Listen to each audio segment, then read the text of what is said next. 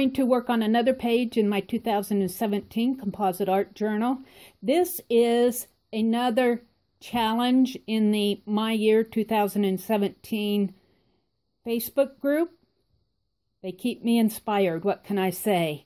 If you see messy hands on me, I have to say I'm working on two or three projects at once. I when one is a stopping point, I pick up the other one. so I'm enjoying my art. What can I say? But I just got inspired when I was watching a video by Anne Williamson at Annalise Creates. I'll put a link to her channel and her video in the description box below. Let me show you what I'm going to do. This page I did as the challenge 2 by Gina Ahrens, the sketchy flowers, and a tribute to my mother for Mother's Day. What I have here is a page protector, and the video that I saw Anne do had a tip-in using, I believe she used an acetate, and she did a shaker.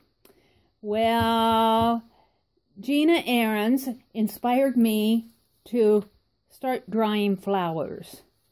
And these are dandelions. Look at these. Now, this happens to be a bouquet. You know how when you were children, you'd go out and pick dandelions and bring them in to your mother for Mother's Day? Well, I'm going to give my mother a bouquet of dried dandelions. I'm going to put them in this page protector, and I'm going to make a tip-in out of it. Now, let me show you some of my others.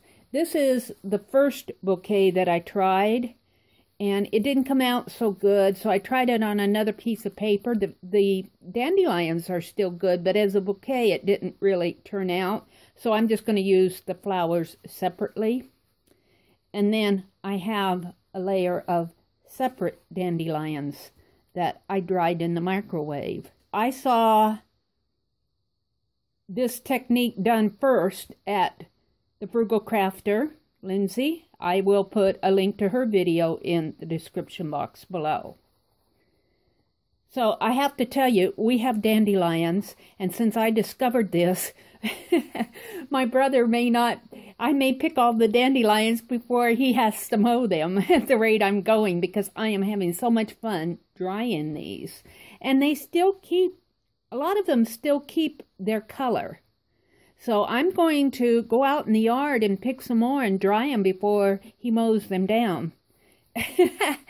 so we may not have a problem with dandelions eh, when I get finished. I'm going to go ahead and work on my tip in and I'll go into fast forward to do that. And when I'm finished, I will come back and chat about it.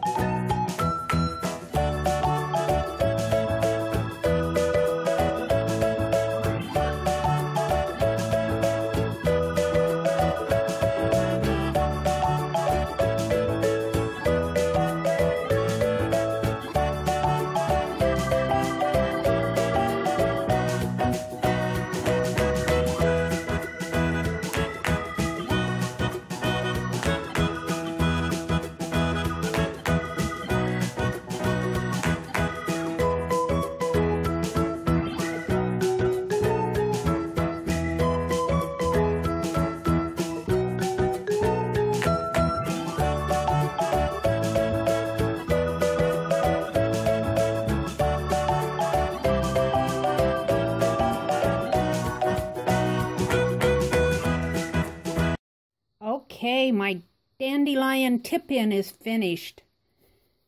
I did put a bobby pin embellishment on it.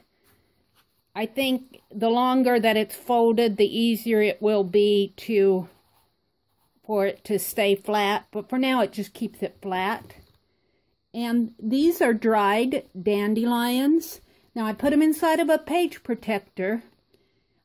I truly believe that they are dried and all the moisture is out of them.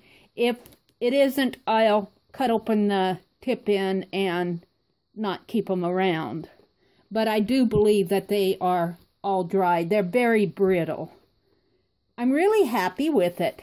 You know how as a child when you go out and you pick dandelions and you bring in a bouquet for your mother?